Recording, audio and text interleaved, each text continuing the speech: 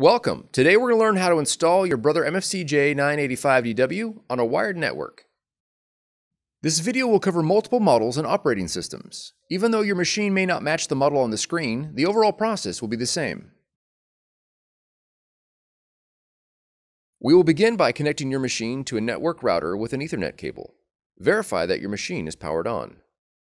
Download the full driver and software package from www.brother-usa.com.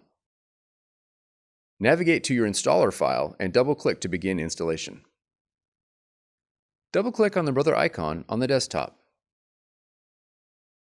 Double-click on the driver download or Start Here icon.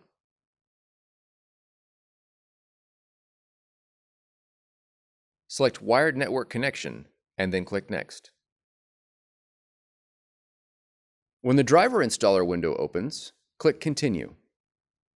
Familiarize yourself with the environmental impacts of your brother machine and click Continue. Click Continue. Click Agree to accept the license agreement. Click Install. If prompted, enter your password and click Install Software. Click Open. Click on Close. Select your Brother machine from the list and click Next. You'll be prompted to enter a Scan To name for your Mac. Click Next. Click Add Printer. Choose your machine from the list. From the Use dropdown, choose the Brother CUPS driver for full printing capabilities. Click Add.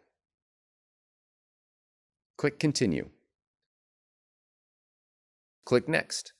If prompted, click Presto Page Manager and follow the on-screen instructions to install.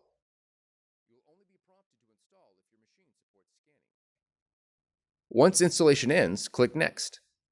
Now click Close. Your installation is now complete. For more tutorials, FAQs, and videos, visit us at www.brother-usa.com. Thank you for choosing Brother.